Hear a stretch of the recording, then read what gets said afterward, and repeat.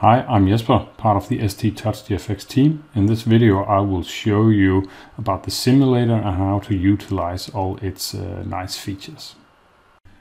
I have here the TouchGFX designer. I have created a new application based on the UI template uh, gauge example. As you probably know, you can compile and run uh, an application, a TouchGFX application on your PC um, by compiling the simulator. The simulator is a port for the TouchGFX application for your PC, so it will run exactly the same application as on your target uh, hardware, except of course for the abstraction layer uh, towards the hardware, which will be for the PC instead of your STM32 based board. You can compile the simulator in different ways. One of them is by pressing the Run Simulator button in the designer. This will compile using make and GCC. Um, so if we press here, we see the output in the line down here, and we see the simulator is being uh, executed uh, when the compilation has completed. Another way of building is to use the TouchGFX environment, the shell that comes with touch TouchGFX. So here you can locate your application. Um, so this is the one I'm using.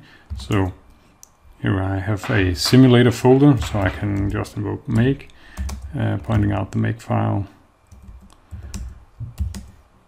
Here, dash J6 for parallel compilation.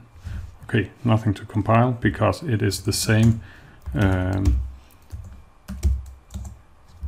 it is the same command that is being invoked by the uh, designer. So here, when I do a clean, you see it will generate and compile.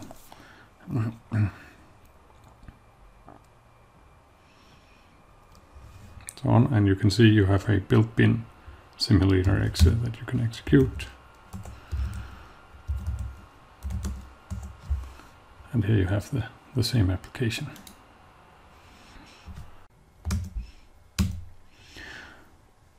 Okay, so now we have the simulator up and running and uh, we want to do some uh, use some of the features in the simulator. What you can do is to go to the help menu and look in the keyboard shortcuts. So here you'll come to the the TouchGFX uh, documentation webpage on uh, keyboard shortcuts. So here you will see uh, shortcuts in general for the designer, but if you scroll down, you'll see uh, TouchGFX uh, simulator features uh, as well. Okay, so let us um, have a look at uh, some of them. So here we have the simulator. It says in the documentation F1 uh, will enable the debug. So let's try that. So here you can see that now it prints the position of the of the mouse cursor. Um, F2 enable disable highlighting invalidated areas. This is a an interesting one. So here you can see it now highlights the area that is being invalidated. Um, this is particularly useful if you are doing some performance optimization. You want to know what goes on if you're doing some sort of animation. Uh, sometimes you are invalidating areas that you did not expect. And if you're on the, the edge of the performance uh, on your hardware, well, then this will be an important thing to, to, to look at.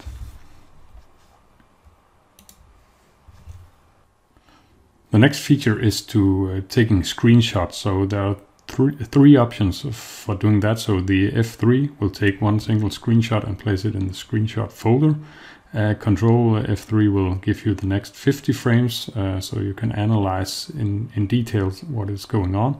And Shift F3 is uh, quite a quite useful one which will place the screenshot in the clipboard instead of in a file. Um, so we run again um, here pressing F3 if I go to the application folder and I have a screenshot folder here and you see the the, um, the image here. If I press Control F3, I'll have a lot, I'll have 50 now, and if I press the Shift F3 and uh, go to something like paint.net, I now have uh, a screenshot here that I can I can look at.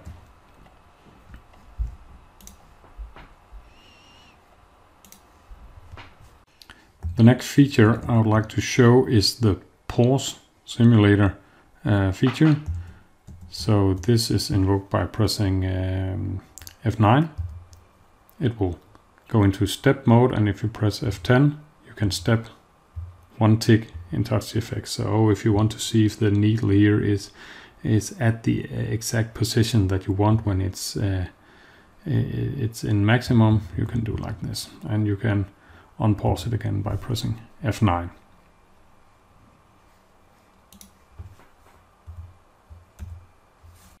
The last feature I would like to show you is uh, how you skin your um, simulator.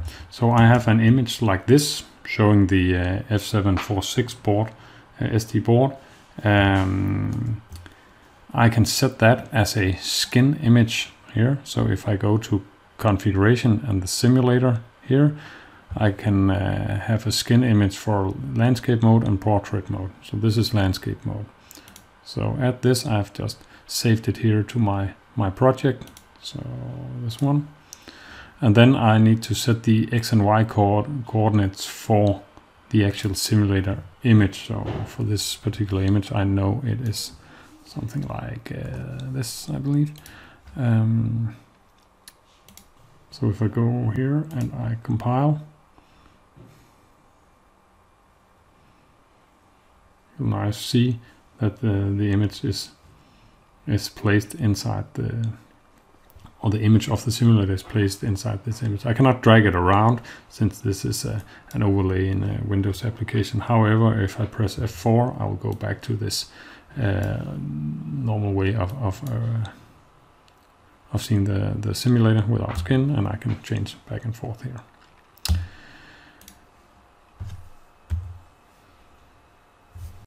Okay, that was all from me on how to use the simulator in TouchGFX applications.